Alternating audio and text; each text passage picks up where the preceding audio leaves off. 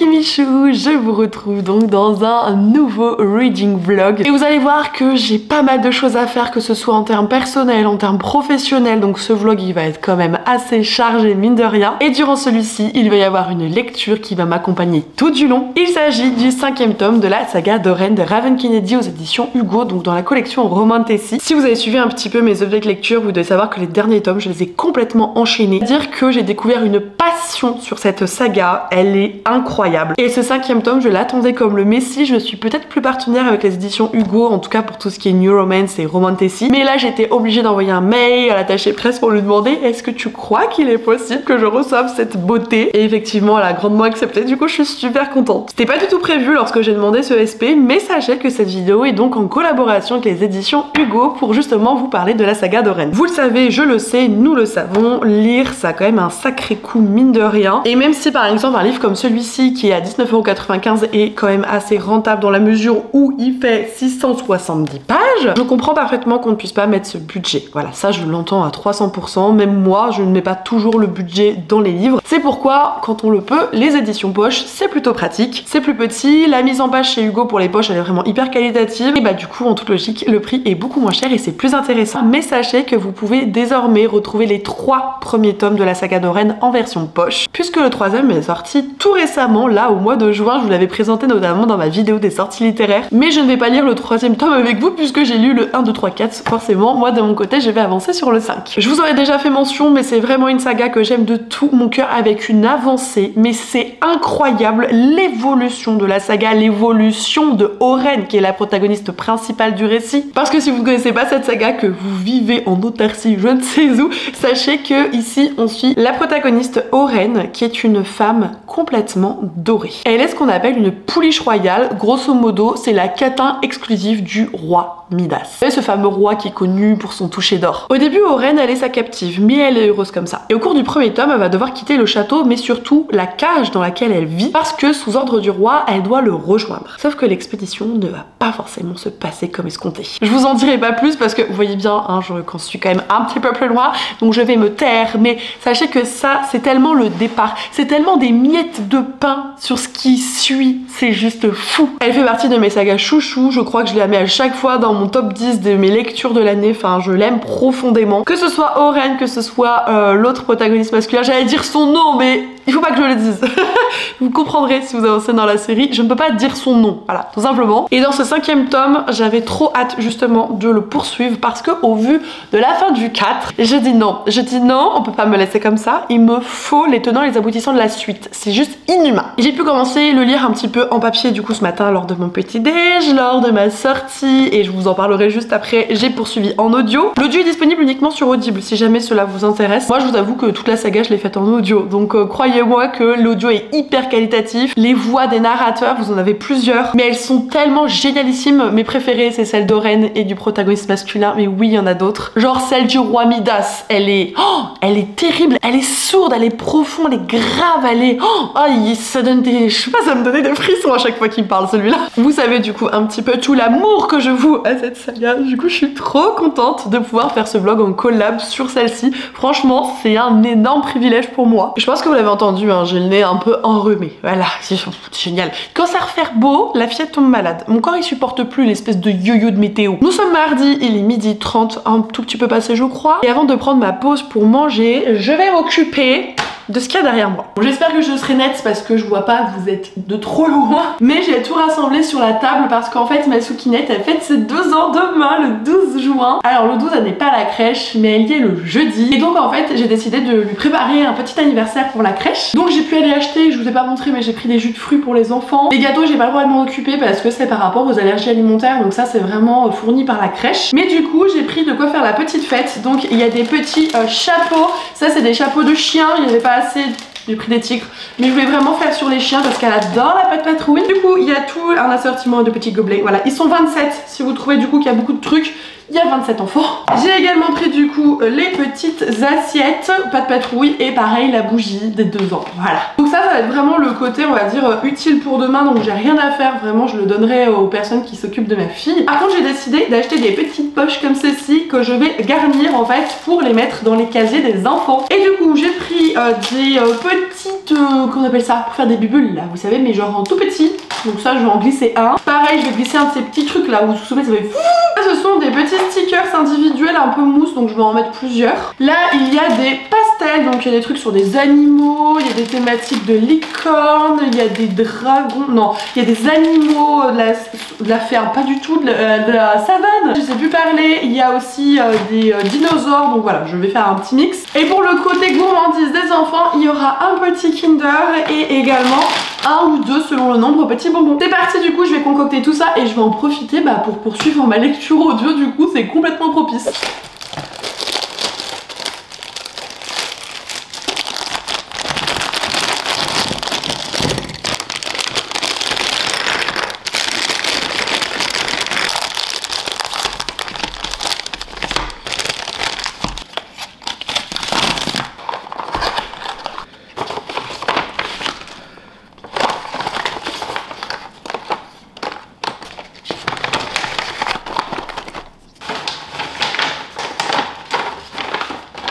Ça y est, j'ai terminé de manger, il est 14h45, il est temps que je me remette au boulot. Entre temps, j'ai terminé de préparer tout pour l'anniversaire de bébé Suki, en tout cas à la crèche. Parce que pour l'anniversaire à la maison avec la famille ce week-end, tout n'est pas prêt. Mais au moins papa il a commandé le gâteau ce week-end. Non, aujourd'hui, il a commandé aujourd'hui pour ce week-end, donc c'est déjà ça. Et j'ai essayé de m'arranger une tête, mais ma tête me revient pas il y a des jours, euh, tu peux faire tout ce que tu veux, il y a rien qui va. Parce qu'il faut que je filme du contenu pour une autre maison d'édition, que je l'envoie pour vérification demain. Donc j'aimerais bien faire ça tout de suite maintenant, sachant qu'il faut que je prenne une photo. Et ma foi, il est en train de faire gris.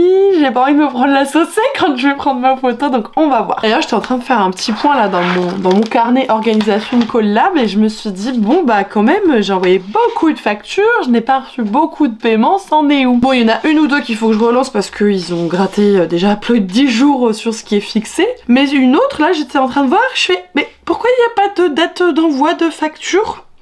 La dame, elle a pas envoyé la facture. bon, pour celle-là, on peut rien dire. C'est juste moi qui me suis très mal organisée avec moi-même. Mais sinon, ce qui vous intéressera un petit peu plus, c'est mon avancée sur ce bébé. Parce que du coup, bah... Oui, là, c'est la partie, c'est la première moitié, si vous voulez. Mais je l'ai un petit peu exploser. En même temps, vous comprenez, c'est la saga de tout ça, tout ça, il n'y a pas besoin de plus, juste ça se dévore. Et encore, je fais vraiment majoritairement de l'audio pour que je puisse faire d'autres tâches. D'ailleurs, reçu un colis, il faudrait que j'ouvre avec vous, c'est les tissus pour la boutique, donc autant vous dire que s'il faut que je me mette à faire de la couture, alors là, l'audiobook, ça va y aller. Mais je vous avoue que là, le, le début, euh, ça envoie. Hein. C'est-à-dire qu'à la fin du tome 4, c'était genre non Et du coup, au début du tome 5, on a ces fameuses réponses, mais ça n'empêche que nous ne sommes pas forcément d'accord avec ce qui se passe. Ou alors, on a envie que ce à quoi les personnages aspirent se réalise. Moi, je suis vraiment, du coup, plutôt dans ce goût-là. C'est-à-dire que je suis pour euh, ce qui... Je suis pour leurs espoirs, je suis pour euh, leur destinée, etc. Bien que, bah, c'est toujours semé d'embûches, n'est-ce pas? D'ailleurs, je me suis pas renseignée sur combien est-ce qu'il y a de tomes dans ce truc? On en est quand même au cinquième, et vu la qualité du récit, le world building, l'univers, la romantique que j'adore, mais j'espère vraiment que c'est pas le dernier ou l'avant-dernier. C'est la première fois d'ailleurs que j'écoute un audiobook aussi rapidement. En ce moment, je suis plutôt à vitesse x2 moi sur mes audios, et là je suis passée à vitesse 2,1, et euh, franchement je vois aucune différence. Donc je pense que je peux même encore augmenter. Parce qu'il y a vraiment des fois il y a des moments de pause de blanc et tout et dans ma tête tu vois genre en mode vas-y enchaîne enchaîne.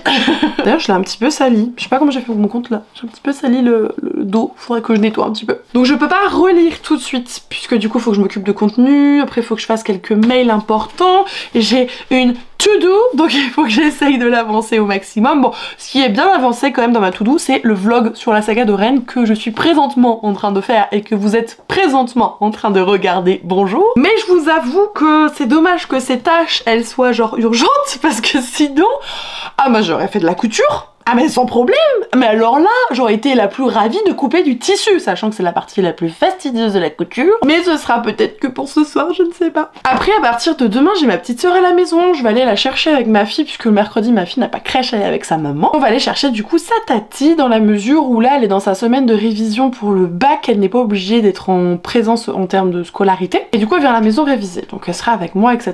Ça ne m'empêchera pas de travailler ou de parler avec vous, loin de là. Mais c'est surtout que pour la première soirée, donc mercredi soir, elle sera toute seule avec Gabriella parce que je vais à Paris pour un événement sur une péniche et j'aimerais bien vous montrer un petit peu tout ça. En dehors de l'événement, ce qu'il faut se dire, c'est qu'il faut que j'aille à l'événement. Donc, qui dit déplacement, dit audiobook dans la voiture Alors là, ah, ça, ça va être mon petit kiff. Hein. On espère du beau temps avec un petit livre audio aussi qualitatif que la saga de Rennes, moi, moi je suis contente. J'arrête de faire ma Miss Prout Prout, là, ça va pas du tout. Euh, je me mets au boulot et euh, dès que je peux vous reparler un petit peu de tout ça, je le fais avec grand, grand plaisir. D'ailleurs, on en parle de l'intronisation de certains nouveaux personnages dans le tome 5 et on en est là, ok, et on vient de m'arracher le cœur genre gratuitement. Genre tu mets pas des nouveaux personnages pour après faire subir ça au lecteur. Genre non, je proteste. Raven Kennedy ne le saura jamais, mais je lui dis haut et fort, je ne suis pas d'accord. On revient sur ce qui a été fait. Non, je ne prends pas les choses comme telles. Il faut faire un effort, madame, là, ce n'est pas possible. J'ai réussi à faire tout ce que j'avais sur ma to-do list, à l'exception du coup d'une chose, c'est qu'il faut que j'aille prendre une photo pour une maison d'édition. C'est un poste que je dois envoyer du coup pour vérification. Le problème, c'est que je vais aller chercher ma fille dans vraiment pas longtemps, donc je pense que je vais essayer de voir dans la ville où je vais la chercher si je trouve un petit coin joli. Le second problème, c'est qu'il y a un vent énormissime et que du coup, mon trépied risque de se péter la tronche avec mon portable dedans. Ça va être une galère et je suis même pas sûre de pouvoir vous montrer ça. Parce que du coup, j'ai tourné ma vidéo sur les préjugés que vous pouvez avoir sur les influenceurs littéraires. Et en fait, quand j'ai éteint ma caméra, il y avait de la batterie. Et là, elle me met déjà batterie faible. Donc bon, cette batterie, je n'en peux plus. Et je peux en racheter une deuxième si je compte changer de caméra bientôt, j'espère.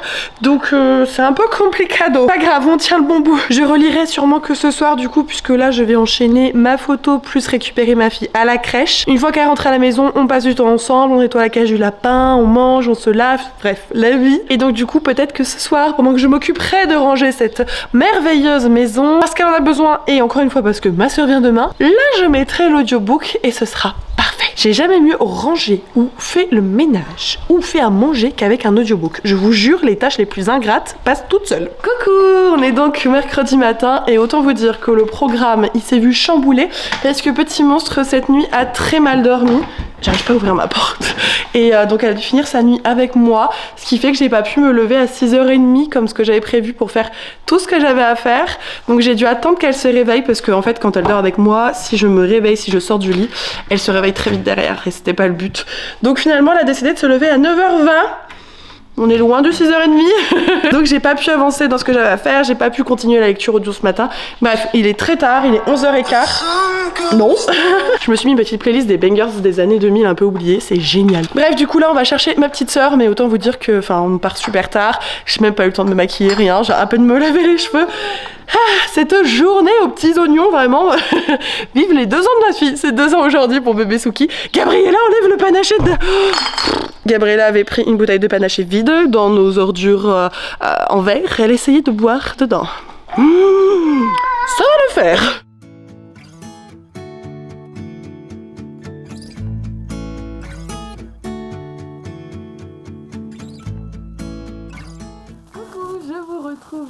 Jeudi matin. Hier, j'ai pas pu beaucoup prendre la parole. J'ai pu juste vous indiquer du coup qu'on allait chercher ma petite tout ça, tout ça. Elle est bien à la maison. Elle est euh, présentement en train de réviser du coup son bac puisqu'elle a les épreuves dans moins d'une semaine. Et hier, ma foi, a été une journée chargée en termes de rythme. J'ai pas pu forcément beaucoup bosser. J'ai donc dû prendre la voiture à 17h40 pour me rendre à Paris pour euh, les 30 ans de la maison d'édition Pocket Jeunesse. On était invité en fait sur un bateau pour un petit cocktail, des petits gâteaux d'apéritif des petits desserts, etc. C'était une soirée qui était sympa, on a pu voir un peu du monde, il y avait quelques auteurs qui étaient là. Après c'est vrai que c'était plutôt une soirée en interne dans la maison d'édition, donc en fait vous avez vraiment genre le gratin de PKJ, vous aviez plein d'éditeurs, de directeurs, de machin, de vraiment beaucoup de monde mais avec lesquels on n'a pas forcément d'échange. Il y a un petit groupe de créateurs de contenu mais moi j'ai surtout passé euh, quasiment l'entièreté de ma soirée avec Juliette du compte Instabookeuse qui est une demoiselle qui me propose notamment beaucoup de choses sur Instagram par rapport à tout ce qui est jaspage parce qu'elle le fait elle-même, elle propose des ateliers, elle fait également du coup des réels afin de faire des tutos pour justement faire des jaspages. Elle a nommé ça la Jaspage Academy. Et franchement, j'ai passé une trop bonne soirée, on a sa compagnie, on a pu beaucoup discuter et tout, et ça c'était super chouette. En même temps, il y avait les remises de prix Babelio, j'étais invitée aux deux événements, du coup j'ai pas pu faire les deux, mais de ce que j'ai vu, ça avait l'air trop trop chouette comme moment, donc j'espère l'année prochaine que j'aurai une invitation encore une fois et que je pourrai du coup m'y rendre. Mais ce qui a été très pratique ma foi pour aller à Paris, c'est qu'il y a du trajet. Et comme je vous ai dit, j'ai pu pas mal avancer là-dedans. Vous allez me dire, mais pourquoi t'as 3 milliards de trucs dans ton livre Kimi? Tout simplement parce que hier, durant le trajet, en voiture, j'ai lu de là à là. Donc c'est genre 200-250 pages. Mais de rien, j'ai donc très bien avancé dans ma lecture. Et ce matin, depuis que je me suis réveillée, puisque là il est 11h20, j'ai pu avancer euh, de là à là. Ce qui fait qu'il me reste moins de 100 pages pour finir cette énorme pavasse. Donc franchement, c'est plutôt très chouette. Et j'avoue qu'il y a un truc que je m'attendais pas du tout dans ce cinquième tome, c'est le regard et le point de vue du personnage de la reine Malina. L'apparaît dès le tout premier, vous en faites pas, évidemment, je vous spoil sur rien. Mais la reine Malina, c'est la femme du roi Midas. Donc c'est une femme qu'on connaît dès le début qui est assez jalouse parce que bah, Midas, il a pas mal de pouliches, dont une pouliche euh, spécifique qui est Oren pour rappel. Et elle a beaucoup de jalousie envers elle, qu'il réagit de manière très obsessionnelle envers la femme dorée. Et en fait, on la suit durant tout le récit. Vraiment, elle a sa voix qui est portée dans le récit, mais jusqu'à présent, c'était une nana pour qui j'avais pas d'attache. C'est-à-dire que j'écoutais ou je lisais ces chapitres, pas de problème, mais J'étais pas plus que ça pour la reine Malina. Franchement, c'était pas un protagoniste que j'apprécie. Mais alors là, dans ce cinquième tome, elle, elle est en train de me faire changer. Genre, un virage à 360 degrés, la violence du truc. Je suis là, genre en mode Malina, Malina. Donc, je pourrais pas vous en dire plus, mais on a vraiment une remise en question du personnage, une ouverture d'esprit, une ouverture des yeux aussi, des priorités qui changent et c'est super appréciable. À côté, on suit toujours évidemment Oren et le protagoniste masculin. Oren, là, je suis sur un truc hyper intéressant. Je viens de coupé à un moment avec une révélation. Je suis sortie de la pièce dans laquelle j'étais. J'avais ma petite soeur en face de moi et là je fais Oh putain Bref, Qu'est-ce qui s'est passé? Tu peux pas comprendre. Mais j'étais choquée. Autant vous dire que j'ai déjà très hâte de poursuivre mon audio. Mais je veux finir un montage qui va pas me prendre très très longtemps. Après, je vais ranger le bazar que ma fille a mis dans ce coin. Bon, même si j'ai un petit peu contribué aussi, disons les termes. Et quand je vais ranger, je vais mettre mon audiobook. Voilà. Il me reste, je crois, une heure d'écoute à peu près. Donc euh, ça va aller genre super vite et j'ai trop peur de la fin. Parce qu'à chaque fin de tome, il se passe des trucs de malade. Et à chaque fois, du coup, on est là genre en mode Oh, mais quand est-ce qu'arrive la suite? Alors que bah ça vient juste de paraître. Vraiment en plus chaque fin de tome ça m'a mis dans des états, genre la fin du tome 3 j'étais genre en mode mais c'est énorme et tout. La fin du 4 bah là j'ai brillé. Du coup, euh, j'ai très très peur ma foi. D'ailleurs, s'il faut que je vous fasse un petit classement des tomes, le tome 1 c'est simple, il te le met en dernier. Voilà. C'est pas qu'il est pas bien, mais c'est que par rapport au reste de la saga, vraiment, c'est pas du tout le même niveau. Comme je vous l'ai dit, c'est quelque chose qui se bonifie énormément, que ce soit la plume, l'histoire, l'intrigue, les personnages, leur évolution, ce n'est que bonifié dans les tomes. Du coup, forcément, le 1, il est un petit peu en deçà. Je mettrai après le 2, parce que même si dans le 2, on rencontre le protagoniste masculin, ça n'empêche qu'il n'y a pas encore ce petit truc, vous savez, cette petite étincelle. Donc, c'est tome 1, tome 2, et là, après, pour choisir, je suis dans la crotte. C'est-à-dire qu'il me reste le 3, 4, 5, et... Quel est mon préféré pour le moment On va plutôt faire comme ça. Genre, quel est mon préféré Je pense pas que ce soit Gold. Donc, je pense pas que ce soit le tome 5. C'est le tome 3 ou 4. Donc, du coup, ça veut dire que le tome 5, il est en troisième position. Il est très bien. Vraiment, il est très très bien. Mais il s'est passé quelque chose à la fin du 4 qui fait qu'on a une situation particulière dans le tome 5 que je comprends complètement, mais qui engendre certaines choses dans la narration dont je trouve ça redynamisme le récit, mais pour autant, c'est pas aussi genre explosif que je crois le tome 4. Je, pense que c'est le tome 4, ouais. Donc ça fait tome 1, 2, 5, 3, 4. Je crois que c'est ça. Bien que j'ai beaucoup hésité, hein. le 4 et le 3 ils, se frôlent l'un et l'autre. Et le 5 il est juste à tâton derrière. En fait personne m'a demandé ça. Je sais pas pourquoi je m'inflige ce genre de truc. Vraiment des fois je suis pas nette dans ma tête. Allez c'est parti. Je termine euh, le montage d'un réel pour une maison d'édition avec le texte qui l'accompagne. J'envoie tout à la ME. Après on fait du rangement et on termine cette vidéo. On termine ah, ce roman, je l'aurais bouffé. Le truc, je déconne pas, il fait 670 pages. On a commencé quand? Lundi, je crois. Ouais, en 4 jours. c'est pas mal. Allez, c'est parti, je m'y mets parce que sinon je vais jamais bosser. Trees are green, the ocean is grey, sky is a vague blue, come my way. My room is a mess, it could use a hand. My favorite TV shows to capture in. I know must get it right, must get back in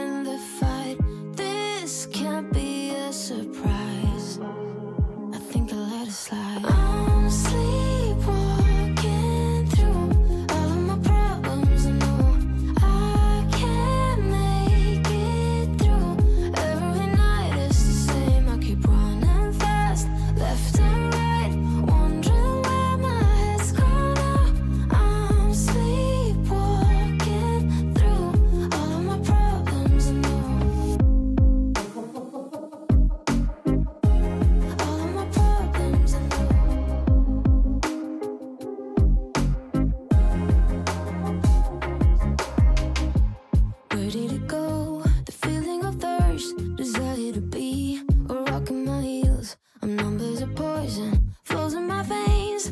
Guess I got used to avoiding the pain. I know must get it right, must get back in the fight. This can't be a Je viens de finir le tome 5 Euh, Vous vous souvenez de la moi qui vous disait chaque fois les fins, c'est de pire en pire et machin, mais... Je crois que c'est la pire de toutes. C'est la pire. J'ai hurlé. j'ai hurlé.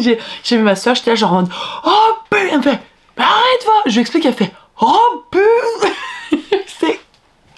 Ah, vraiment Ce cinquième tome. Il a, il a beaucoup d'estime pour moi. il, est, il était exceptionnel. Vraiment, cette saga de Romantessi, je la trouve mais folle. Et oh là là, j'ai tout aimé. Vraiment, j'ai tout aimé. J'ai pas de choses négatives à dire. On s'inquiète pour tout le monde parce qu'on est quand même un cinquième tome, donc il y a déjà un sacré background, il y a des choses en perspective. Enfin, on a de l'inquiétude sur plein de choses. Et il y a déjà une situation très euh, stressante, en un sens, au début de ce tome, qui est en lien direct avec l'avant du tome 4. Et on évolue dans cette situation, on n'en sait rien du tout, on connaît pas assez nouveau et on se pose des questions et on a peur de ce qui va arriver à cette personne, etc. Et, et ce qui est arrivé à cette personne? Oh non, non, non, non, non. Je hurle, vraiment, je, je hurle, je. Protestation. Raven Kennedy, il faut qu'elle se détende parce que nous faire des fins comme ça. Oh Alors, comme je disais, le tome 5 vient de sortir. Où est le tome 6 Je. Quand on fait des fins comme ça, ma grande, on publie vite derrière, d'accord? On écrit vite derrière, on nous donne vite accès à la suite du récit parce qu'on peut pas nous laisser comme ça. Elle est incroyable. Alors peut-être que vous aussi vous serez en émoi à la fin de presque chaque lecture de tome, mais pour autant, je vous conseille cette saga, vraiment, mais depuis le début, bien avant que cette vidéo soit en collaboration, je vous en parle depuis un long moment, et le fait que je puisse travailler dessus, je trouve que c'est encore... oh, Enfin, c'est déjà une saga coup de cœur, mais du coup, c'est... oh, Enfin, travailler sur un coup de cœur, c'est énorme Si jamais vous souhaitez la découvrir, foncez. Vous pouvez le faire à moindre coût avec du coup les poches dont je vous rappelle le troisième tome vient de sortir. Les éditions Hugo ils ont quand même un très bon rythme en termes de publication de poche donc vraiment vous serez pas lésés pendant très longtemps si je puis dire. Mais si vous avez un petit peu foi en mes avis littéraires, la, saga Doren, je... Non mais je hurle la fin de ce tome, je... C'est... Mais c'est inhumain Bref, on va essayer de se détendre pour clôturer cette vidéo. Je voulais juste ouvrir avec vous euh, très rapidement. hein. J'ai reçu deux colis pour l'anniversaire de ma fille. J'ai pas tout reçu, j'en avoir demain. C'est pour ce week-end en fait, on fait l'anniversaire avec nos familles respectives. Et du coup, j'ai pris un petit peu de déco. Donc on va essayer d'ouvrir tout ça. Qu'est-ce que c'est que ce lot là Parce que j'ai pris deux lots différents. Je crois que ce sont les ballons qui vont constituer l'arche en fait que je vais lui prendre. Donc je pense que c'est ça, effectivement, ça va être les ballons pour l'arche à ballons. Vous voyez un peu les, teintes. Il y a du euh, rose lit de vin, du plutôt pêche, du crème, euh, du doré. Enfin voilà, c'est vraiment les couleurs de la madré. Celui-ci c'est quoi du coup? Ah, j'ai donc la petite nappe. Alors, c'est le thème lapin, mais j'ai pas trouvé de belle nappe lapin. Du coup, c'est une nappe Vichy rosée comme ça. Voilà. Ça fera largement le job, ça ira très bien avec le reste. Et j'ai également reçu... Ah, bah c'est un lot de paille. Je sais pas si vous allez voir. Les pailles, elles sont ici. C'est les couleurs, du coup, un petit peu pour son anniversaire. Je voulais pas forcément quelque chose de rose à la base, mais les décos qui me plaisaient étaient roses, donc bon, j'en ai fait avec. Mais c'est plein de petites pailles, du coup, qui seront assorties avec le restant qui doit arriver. Il y a un lot d'assiettes lapin, etc. Il reste pas mal de petites choses. Et pour finir, j'ai reçu ce colis. En fait, il y a mon adresse des deux côtés. C'est les tissus pour vos pochettes à livres. Enfin, elles sont arrivées. Donc autant vous dire qu'il va falloir que je me mette au boulot, ce qui est le cas tous les jours, mais plus pour la boutique du coup. Waouh, ça fait un sacré métrage, hein, la vache. Donc il y a beaucoup plus de tissus citron. J'adore les citrons. Oh là là, ça me donne trop envie. Oh, Genre un Perrier tranche. Et là, vous avez les abeilles. Ça fait So Bridgerton, du coup. Voilà, elles sont un petit peu grosses quand même, mine de rien. Mais euh, sur une pochette, vous en aurez, euh, je pense, au moins une. Au minimum une sur des pochettes euh, type poche. Sur les coussins de lecture, vous en aurez au moins une partie, je pense. En tous les cas, vous aurez un maximum. N'hésitez pas en impression plus petite chez les abeilles. Je pouvais pas faire plus petit design, malheureusement. Mais je trouve que le combo, ça va être genre trop beau. Voyez, c'est ces deux-là. Attendez, on va faire mieux. Mais celui-là au milieu. Et, et en fait, la collection, c'est ça. C'est trop beau, hein C'est que j'ai des goûts pas trop dégueux, ma foi. Bon, en vrai, vous aussi, parce que je vous avais fait voter pour choisir justement le lot de tissus que vous préfériez, et c'est celui-là qui avait remporté la mise, alias mon préféré. Merci beaucoup aux éditions Hugo d'avoir sponsorisé cette vidéo. J'espère que suivre un petit peu mon avancée dans la lecture, ça a pu vous plaire, ou tout du moins vous convaincre pour débuter cette saga de Romantasy, vraiment chouchou pour moi. Si jamais vous avez déjà commencé cette saga, où est-ce que vous en êtes? À quel format vous le lisez? Parce que moi j'avoue que j'ai les brochés, je fais un petit peu sur le papier, mais je fais aussi beaucoup en audio, ce qui me permet dans d'autres choses. Si jamais vous n'avez lu que le premier tome et vous n'avez pas été totalement convaincu, sachez que le premier tome ne relate pas du tout de l'entièreté de la saga, bien au contraire. Je vous supplierai donc de laisser une chance à cette saga et de tester au moins le second tome. Vraiment, au moins le deuxième tome, il faut essayer. Merci de tout cœur d'avoir regardé cette vidéo. J'ai été très heureuse de pouvoir le faire avec vous ces derniers jours, vous emmener un petit peu dans mon quotidien. Et d'ici une toute prochaine vidéo sur la chaîne, ce sera une espèce de vidéo sur vos préjugés vis-à-vis des influenceurs littéraires. En fait, ça aurait dû sortir avant cette vidéo, mais je suis en retard. Du coup, j'ai pas pu tout faire. Bref, j'espère de tout cœur que celle-ci vous plaira. Je vous fais des gros bisous et surtout, prenez soin de vous. Bye